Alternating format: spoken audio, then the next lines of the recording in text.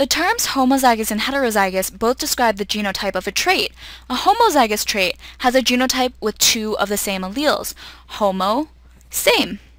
A heterozygous trait is made of a genotype with two different alleles. Hetero, different. So let's use pea color as an example. If big Y is the yellow allele and little y is the green allele, a homozygous pea will have big Y big Y or little y little y as its genotype, whereas a heterozygous pea will have big Y little y as its genotype. And remember, by the law of dominance, the heterozygous pea will be yellow. And again, that means yellow peas can either be big Y big Y or big Y little y. So let's have some more examples. Let's say um, big D codes for dimples and little d is no dimples.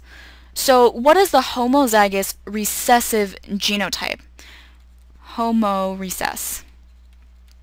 Well, homo means same, so two of the same alleles, and recessive means we're talking about the little letter, so little d, little d. What about, what is the heterozygous genotype? Hetero means different, so that means it would be big D, little d.